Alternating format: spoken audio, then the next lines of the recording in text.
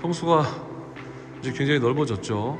이제 이 평수 안에다가 꽉꽉 채워서 여러분과 함께 또 재밌는 시간 만들어 보도록 하겠습니다.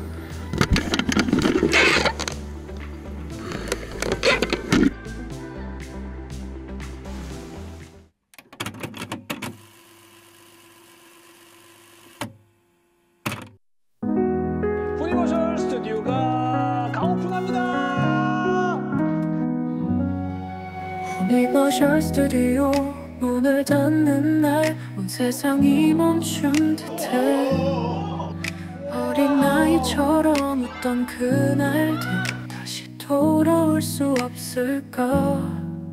이상훈의 미소가 그리운 밤. 우리는 여전히 그를 기억해 만화 속 영웅처럼 우리 마음속 언제나 살아있는 그의 모습. 이 앞에 모인 우리 어린 시절. 놓아야 돼. 이거 유니버셜 스튜디오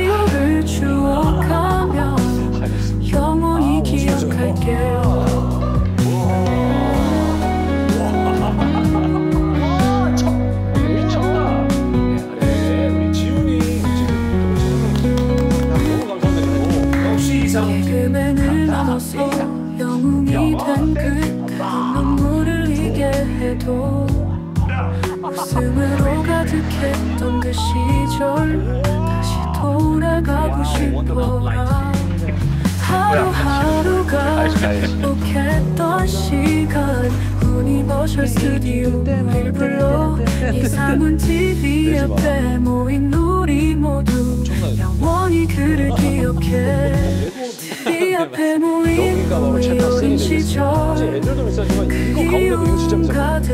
곳서 유니버셜 스튜디오를 추억하며 영원히 기억할게요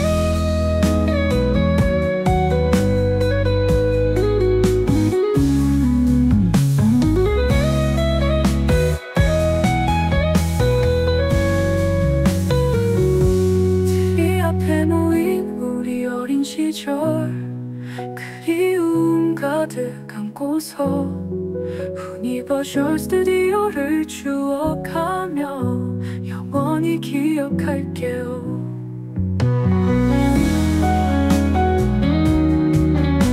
개콘 시절 때부터 지금까지 계속 팬이고요.